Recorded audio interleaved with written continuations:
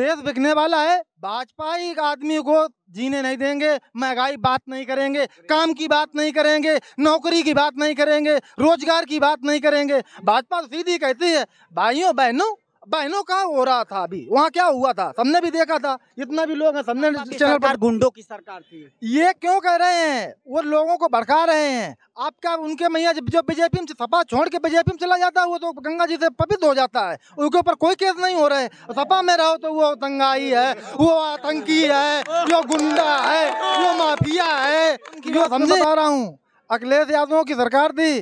शायद में ऐसी कोई रोड नहीं बनी होगी शायद ये भी रोड जो बनी होगी, हमें इतना याद नहीं है, सारी रोड तो बनी होंगी तो समाजवादी अखिलेश सरकार में जितना काम हुआ था, नौजवान जो पढ़ते थे, बहनें पढ़ती थी तो बहनें पढ़ती थी तो पच्चीस हज़ार रुपया साइकिल मिलती थी। लड़का और इसके बाद में नौजवानों को हाई स्कूल इंटर पास हुए, लैपटॉप मिला था कि ब- बढ़े, हौस बढ़ेगी तो आगे आगे विकास होगा, और आगे आदमी नौकरी, कितनी सरकार ने नौकरियाँ दी, नौजवान घूम रहे, कंपनियों में धोखा उठा रहे, दस हज़ार रुपया में नौजवान कंपनी में झटका मार रहे, एम ए, बी ए करे, घूम रहे लोग कहाँ सो रही सरकार? दस दस हज़ार में लोग रोडों पर लगा रहे हैं। लेकिन लोग तो कह रहे हैं जिसकी जो योग्यता है उस हिसाब से नौकरी भी मिल रही है और पेमेंट भी मिल रही अभी एक नहीं सपा सरकार में जितनी लोगों को नौकरी मिली थी आज भी रिकॉर्ड दस साल बीजेपी सरकार होने जा रहे हैं सात साल। कोई नौकरी नहीं मिली और जनता को ये बात ध्यान रखना चाहिए और जनता को सोचने ले, ले, ले जनता कि एक बार सपा सरकार के काम उठा के देख ले चाहे हाईवे काम उठा के देख ले चाहे नौजवानों को देख ले नौकरी देख ले। और कुछ भी देख ले कानून व्यवस्था तो आज भी देख रहे क्या हो रहा है। बीजेपी की सरकार थी वहाँ क्या हुआ माताओं बहनों के साथ में आपको भी मालूम होगा। तो ये बीजेपी का वो है क्या उत्तर प्रदेश में दंगा मुक्त है? सब उत्तर प्रदेश में सबसे बेकार देश बिकने वाला है नौ नौजवानों की ये ताकत है कि देश बचा है ये भाजपा वाले बेस सब डालेंगे ये लेकिन बीजेपी के कई नेता कह रहे हैं कि सपा की सरकार गुंडों की सरकार थी। ये क्यों कह रहे हैं? वो लोगों को भड़का रहे हैं। आपका उनके मैया जो बीजेपी में सपा छोड़ के बीजेपी में चला जाता है वो तो गंगा जी से पवित्र हो जाता है। उनके ऊपर कोई केस नहीं हो रहा। है सपा में रहो तो वो दंगाई है वो आतंकी है वो गुंडा है वो माफिया है। यो समझे? अच्छा आपके कहने का मतलब कि बीजेपी वॉशिंग मशीन बन गई है? यहाँ बीजेपी में चले जाओ सर तुम्हारे दंगा मुक्त ना तुम्हारे ऊपर कोई केस? बहुत बढ़िया हो गए वॉशिंग मशीन है। ना बुलडोजर चलेगा तुम्हारे ऊपर? मुक्त रहो कुछ भी करो आप।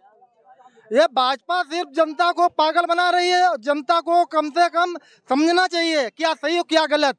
हम गलत कह रहे हैं तो देखिए देश का नया प्रधानमंत्री हो वह नेता जो सपा सरकार में आए हाईवे देखो। ये आगरा वाला हाईवे बना था अखिलेश यादव ने बनवाया था। ये काम सरकार कहाँ बता रही है? ये दो किलो राशन पर खुद कर रही है दो हज़ार रुपया डाल के खुद कर रही है हैं? लेकिन लोग तो कह रहे हैं कि मोदी के आने से विदेशों में डंका बज रहा है। कहूँ नहीं ये ये सब ये सब बना रही है ये सब जनता को हवा भर रही है जनता को काट रही है जनता को सोचना चाहिए और समझना चाहिए। अब तक बार ये चुनाव बहुत सोच समझ का है देश बिकने वाला है और नौकरी कौन कर रहा था? एक- कर रहा था? नहीं नहीं देश बिकने वाला है। भाजपा ही आदमी को जीने नहीं देंगे, महँगाई बात नहीं करेंगे, काम की बात नहीं करेंगे, नौकरी की बात नहीं करेंगे, रोज़गार की बात नहीं करेंगे। भाजपा तो सीधी कहती है, भाइयों, बहनों बहनों का हो रहा था अभी। वहाँ क्या हुआ था? सबने भी देखा था। जितना भी लोग हैं सबने चैनल पर देखा। तो मणिपुर की जो घटना थी तो वहाँ लोग बाग गिरफ़्तार भी हुए तो क्या कुछ नहीं वो तो भाजपा वाले हैं। वही चीज़ है इनने कानून खत्म कर दिया। लोकतंत्र में हत्या होने लगी। ये सरकार ने गुंडाई कैसे हो गई? उनके सरकार में कैसे गुंडाई हो गई? सरकार ने मतलब सरकार तुम्हारी है तो तब भी हो। भाई भाजपा की सरकार मुख्य- मुख्यमंत्री बरखार करती, भाजपा तो मानते कि हाँ सही किया। मुख्यमंत्री का इस्तीफा दे देना चाहिए था। वहाँ का उत्तर प्रदेश में सफाया होगी, समाजवादी पार्टी अब बार भयंकर तरीके साइकिल आएगी। बीजेपी को खाता को नहीं खुलेगा। और हर एक हर एक इंसान सब कुछ जागरूक है और हर एक आदमी समझ रहा दो बार मोड़ लिया, दो बार मुख्यमंत्री भाजपा का बनाया, दो बार में कौन सा काम किया, कौन सी रोड बनवाई, इनने बोला था कि हम नौजवानों को नौकरी देंगे भर्ती दी जो सौ नंबर थी उसे 112 एक बार एक दोबारा किया। दूसरे काम को अपना काम बता रहा है। उसे कहीं एक सौ बीस कर दिया। कानपुर में मेट्रो चली थी समाजवादी सरकार थी। नहीं सरकार में कानपुर में मेट्रो चली थी समाजवादी सरकार। इनने कौन सी मेट्रो चलवाई? इनने कौन सा काम करो कि हमने ये काम किया? इनने रोडों पर सांड छोड़ दिए आदमी टकरा रहे मर रहे आदमी टकरा रहे मर रहे। समझे? तो लोग ही छोड़ रहे हैं वो तो सरकार है। सरकार ने बोला था कि अब की बार मैं मुख्यमंत्री बनूँगा तो इतनी व्यवस्था करूँगा कि कोई भी अनाथ जानवर कहीं नहीं घूमेगा। और ये सरकार नहीं है, ये वोट वाली सरकार है, जनता को पागल बना के वोट ले रही है। जनता को समझे और जनता अपने हिसाब से वोट दे और मेरा यही कहना है। बीजेपी सरकार देख रहे क्या कर रही है? आपके चैनल वाले को तो कहना है कि कम से कम सच, ईमानदार, सच्चाई दिखाओ और जनता को समझाओ।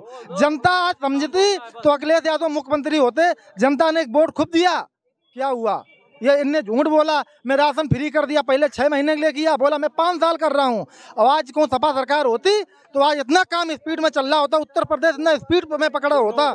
नौजवान जो कंपनी कहीं लगे पड़े होते। और नौजवानों को हुनर होती कानून व्यवस्था इतनी बढ़िया चल रही थी और हर एक आदमी यही सोच रहा था कि अखिलेश यादव की सरकार थी।